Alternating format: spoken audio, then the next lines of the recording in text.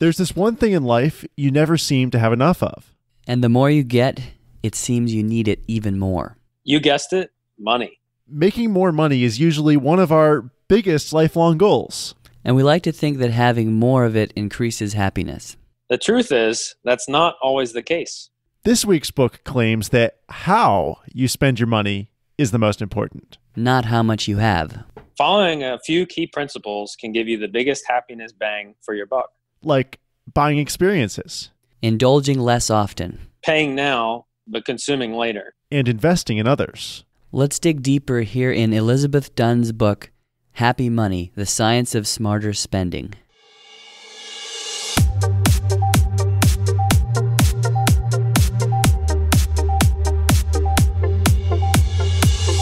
Welcome back. You're listening to Motivation Minute, where we unravel the timeless truths in that stack of books you've been wanting to read so that you don't have to. And this week's book is called Happy Money The Science of Smarter Spending.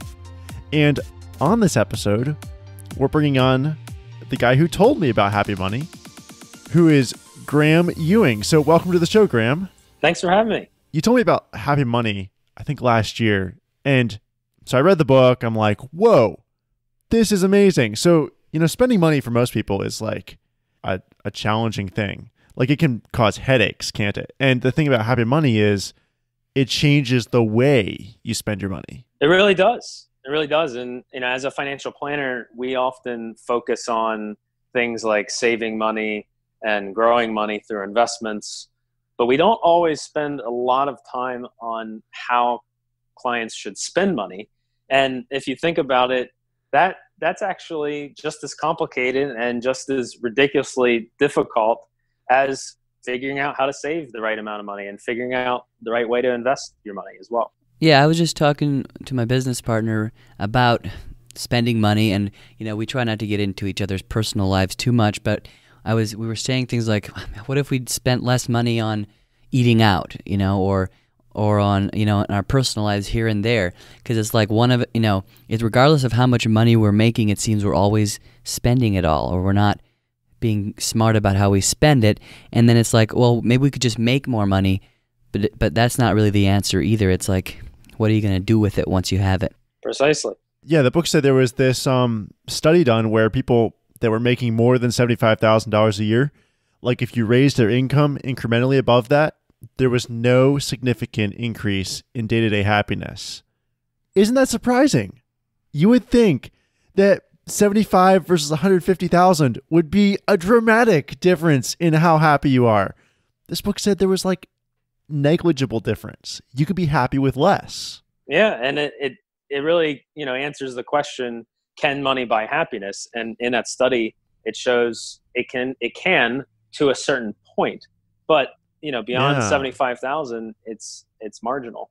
so is that maybe because like um, it's like I've heard of like the hierarchy of needs or something that it where it's like yeah you you want to start with um you know your essentials your food shelter and everything like that and and that and you need to ha- be able to do that but then once you get above 75,000 it's like that's when you start like people start buying luxuries maybe or things they don't need and so when you start buying those types of things they don't really increase our happiness like material things but it it was saying something in the book about rather than buying you know, like more things like what if you could buy or like per- somehow buy experiences Yes.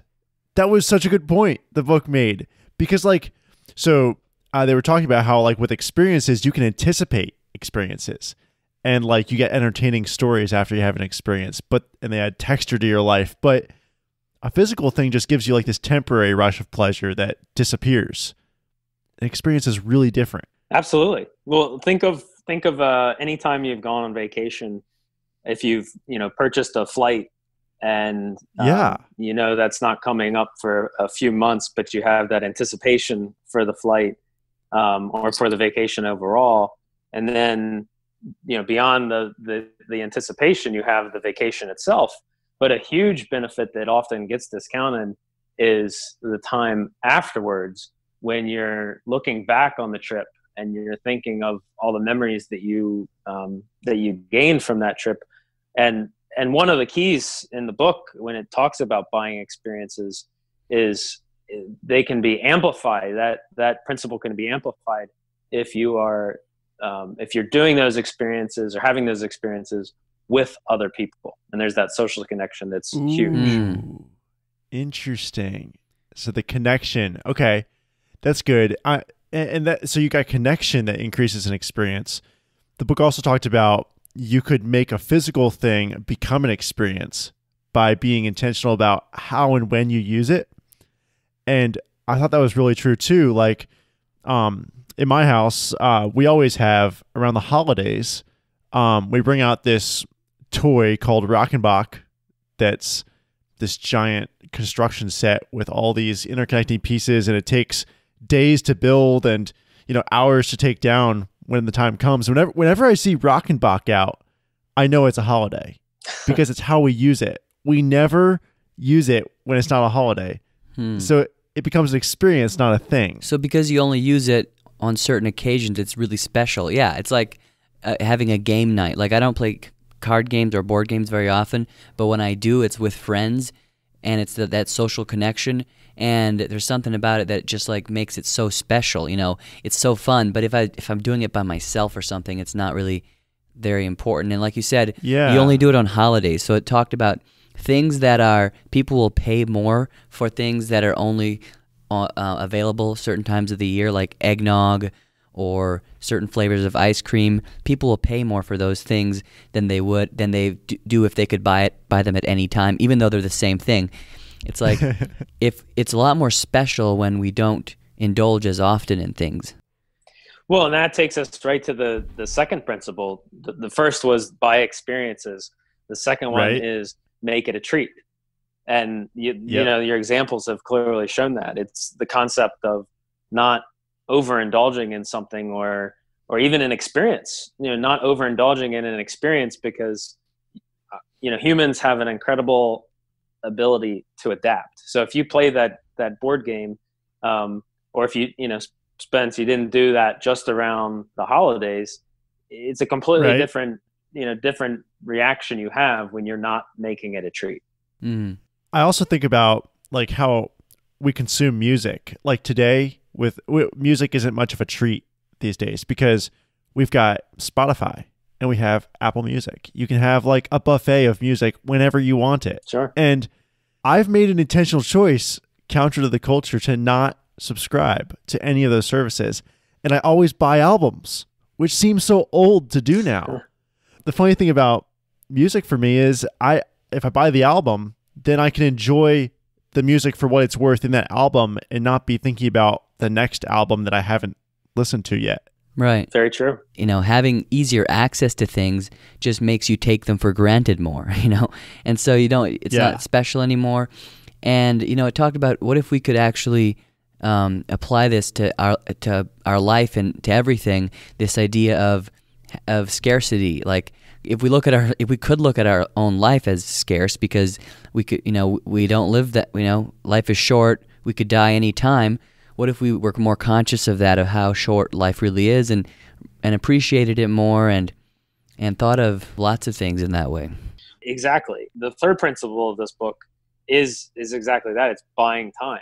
There's only one resource that's more finite than than money, and that's time. And Hmm. we often, you know, focus, especially in you know the the U.S. society, we're focusing on how do we make more money? How do we make more money? How do we make more money? Mhm. But we're not always looking at well, what can we do to to better spend our time? Yeah. I'm curious as a financial planner, like I, I don't know what type of advice you give people, but like um, I just know that a lot of people have this idea of, you know, well, I'm going to save some money here, so I'm going to do my own taxes, or I'm going to, you know, fix my car myself, even though I barely know how, or, you know, try to like save money, but end up spending all this time doing these things that you don't like to do, you know, or that that you could. What if you could, you know, invest that time into your job a little bit more, so you'd make more money. That way, you could pay somebody to do these things for you, or just there's be more better ways to do things, right? Absolutely, and and I think it's as in all things, there's a balance. There's things Right. that you can choose to uh, pay someone to do, and therefore you're you're buying time. Um, and then there's other things like you said, where if you you know you're preparing your own taxes, there's you know while that might not be advisable for other reasons, you know there's you can learn you know some good things by preparing your own Mhm. taxes. Um, Mhm. but it's it's it's about that balance and finding out what is it that you really really don't like to do and you know pay to free up that time it doesn't mean Yeah. it doesn't mean pay for everything so that you can just sit on the couch and watch tv you know every single Mhm. night it's it's because finding that that won't bring you balance. happiness. No, no, Mhm. and and like you said, Dry in the book, they there's three things that they talk about with buying time, and uh, one of the things is your commute. How how should you use money to kind of adjust your commute to work? The other one Okay. is how how much time should you be spending watching TV, and then the other time the other one is how much time can you spend with friends and family. Hmm. Yeah. Yeah, it's a hard balance. It's like the one, yeah, the, the principle that I kind of like the most in the book is the um, the pay now and consume later, and it's like a principle I think of you know it's better to do something hard now and then and have fun later, kind of. So for me, it's like I want to work. You know, I don't always accomplish this, but I want to work a lot now while I'm young and invest in the right things now, and then so that there's going to be the, re- the reward later. And rather than have fun now while I'm young and then have to pay for all that when I get older. But that's just kind of how Mhm. I see it. It's um the book brought up the dreaded taxi meter that keeps ticking Hmm. and how it's that feeling in your head that you know you you've got this pressure to you know pay up and and that's not making you happy when you have this pressure going on.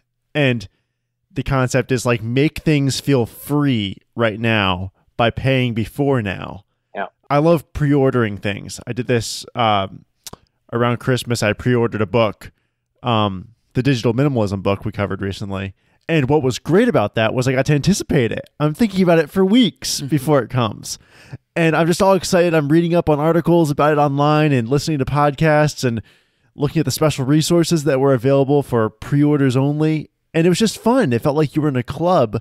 And then the book came and it's like that was the gravy uh, Yeah. over the whole thing. Like Yeah. it, the book could have never come and the excitement was more fun than the book almost. Yeah. Well, in that episode that you, you guys did, um, you brought up the example of, uh, I, I think it was going to Blockbuster. And you Yeah. talked about the anticipation, you know, as you're driving to Blockbuster and, you know, before you get there, there's, a, there's this anticipation of, well, what movie am I Uh-huh. going to get? And the, the principle of buy now and enjoy later, you know, a lot of it has to do with what you're talking about, that anticipation that just builds and builds and builds before you actually even go through the experience. And you mentioned earlier about a plane ticket, Graham. And I like, and I've just thought of that just now. Like, a lot of times it's happened where I, uh, I didn't get the plane ticket soon enough, or I waited till the last minute, and then it was way too expensive, or just, and it, you know. But instead of waiting, you know, if you if you get it a month or a couple months ahead of time, then it's cheaper and it's also, um, you know, it's smarter because then once it feels like it's free once the time actually comes. You're like, hey, I might as well go. Might as well go. Got this tick laying around. yeah. See, I think you could do this like even beyond just spending. Like I do this with saving. Um the pay now, consume later. So it's more like save now, buy later is Yeah. how I save. Yeah. And um I, I got this idea from someone that was um naming your money, which was interesting. Uh because when you do that, when you say this set of money is for the mountain bike, which is a savings account I set up just for my mountain bike that I'm going to get this spring, uh, you buy it more guilt free because you named that money to go to the mountain bike. Or I have an account for my Roth IRA or my auto insurance or an emergency fund. Like I've got all these savings accounts with different names that the money is guilt free in there for a specific cause. And it makes it so that I'm happy when I spend it. It makes a difference actually when it's saved that way. Well, first I have to I have to say kudos on the bucket for the Roth IRA as a financial Yeah. advisor. I, I got to clap for that. Um, but yeah, there's, there's there's a whole side of financial planning that is completely behavioral, um, and the idea of naming your money and you know giving nicknames to your savings accounts, I believe, is called mental accounting, and uh-huh. it's you're in your mind you've earmarked that money for a specific uh, cause, so you attach an emotion to that, which is so much more powerful than logic you know we can we can use, yes. you know try to use our our logic and be rational but we're not rational hmm. beings so when you do that by naming uh, naming your money you know it's such a powerful concept yeah there's one other principle that was really good in this book which is about giving what was interesting is the book said you buy more happiness by spending less yourself and that the amount you give away and how you give it has more impact on your happiness than you know what you actually spend. They did a study for the university that uh, that Elizabeth Dunn is a professor at. I think it's University of British Columbia um, out of okay. Vancouver, and they it, they called it I think the envelope experiment, and they had five dollars in each envelope, and there was a little instruction in each of the envelopes. One of the envelopes said, "Take this five dollars and go spend it on yourself." and the other envelope said take this five dollars and go you know buy something for somebody else go spend it on someone else huh. and they uh, they rated these these people before and asked you know on a scale of one to ten what's your happiness and then they rated after they went through the experiment and they found that the people that spent the five dollars on other people were happier than the people that spent the money on themselves. Ah, uh, this is interesting. So think about it. So when you spend on someone else, you're buying them a physical thing, but it's an experience for you. So you get both the experience and the thing out of giving it to them. Yeah. Versus just getting the thing for yourself hmm. in a sense because you're thinking about how do I present it in the best way to them? You know, what do they really want? Like you have to go deep into their psychology kind of to figure out you know what's going to give them the biggest happiness which is in turn giving you bigger happiness it is and, and one of the the concepts they they added to this was that if you can do it in a way that makes a connection it amplifies it even more. Again talking about the the ah. relationships and the connections.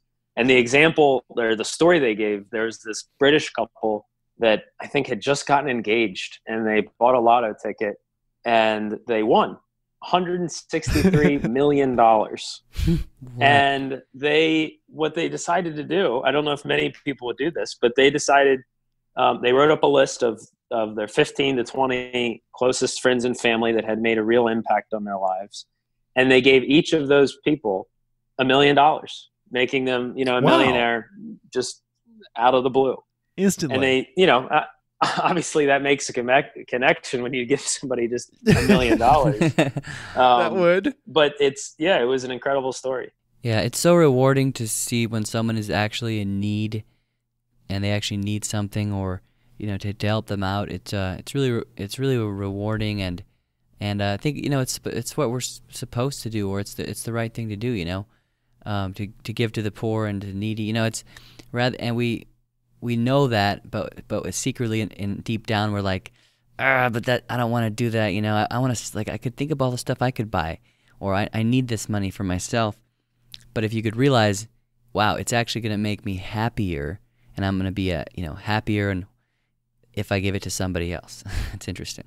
And what's interesting is like you can track uh, how you're giving to people, but you can also track the ways you're indirectly giving to people, or uh, the time you're investing. Like I know Graham, I think you do like value based spending or cash flow tracking. Isn't that right? You have like core values. Yeah. You track things under. Can you tell us a little bit about that? How that works with like the giving concept and how that changes your happiness with spending? Yeah. So, you know, one way that you can put a, a budget together is by saying, okay, here's groceries, here's a mortgage, here's, you know, um, eating out, here's entertainment. But the way that I've uh, designed my tracking of cash flow is is by values. So I'm looking at okay, how much am I am I giving? Because that's that's a value of mine. and then another one is how much am I, you know, spending time with my wife? You know, are we going out on a date night? Are we are we doing things Yeah. together? And any any expense that's kind of associated with that, like a date night, goes into that category. And then family and friends, you know, t- times where we go out and have a meal together. Um, it it doesn't need to just reflect the expense of the restaurant. It should reflect, okay, that that was an experience with my family um, For the relationship. for the relationship, and it it actually goes back, uh, Dry, what you said um, earlier. So Maslow's hierarchy of of Yeah, that's what it is. There's the the pyramid, and every single one of your expenses, um, how logical or illogical you might think they are, every single one of those is attached to a need. It doesn't have to be a physical need like food or a roof over your head. Uh-huh. It could be a social need or something Ah. else that that is attached to that it's not as simple as just saying oh well this isn't you know this isn't a uh, a necessary expense so you should just cut it out of your budget you have to see what is that expense actually attached to what what value is that attached to for you Wow, that is interesting. That's really good. I would be very interested to learn more about that or how you how that's set up. It's really cool. like so he showed me like his spreadsheet at one point where he has like the category and then he puts the value next to it basically and then sorts it all that way and i did this last year for my cash flow i decided to do the same thing it made a huge difference because you're looking at things you paid for like hey you might have gotten a tank of gas but you're like i got that tank of gas so that i could go do this thing with a friend that was a Mm. relationship expense not a gas expense Yep. And it changes the way you think about how you spent your money. Wow. so that like it's tempting it, when you do this to be like well overspending on the relationship and buying things you don't need to. But as long as you balance it out with like a reasonable amount on the thing versus the value you have it's a great way to kind of legitimize expenses in your head and make it more fun because you have a purpose to spending. Huh. and that's the key is is spending deliberately. That you know 99% of of society spends in a very reactive way um, and in a Yeah. non-deliberate way but the key is how do we use our money to enhance you know relationships how do we use our money to enhance our values how do we use our money in a deliberate way and that's you know that's the key Right. Well, this has been a really fun discussion on happy money. And I love this concept of getting the biggest bang for your buck in happiness per dollar spent. I think that's my number one takeaway that it's more like where, how, and why you spend money that matters than the amount you're actually spending. So thanks for coming on, Graham, to talk with us about this. absolutely it's been a pleasure Where can people find you online if they want to learn more about you? Well, I work at the the financial consulate. I think that's really my only online presence. Uh, I have not read Digital Minimalism, but I, I'm trying to kick social media for a while. Um, but the financial consulate, and I guess I still do have LinkedIn, but those are the only two.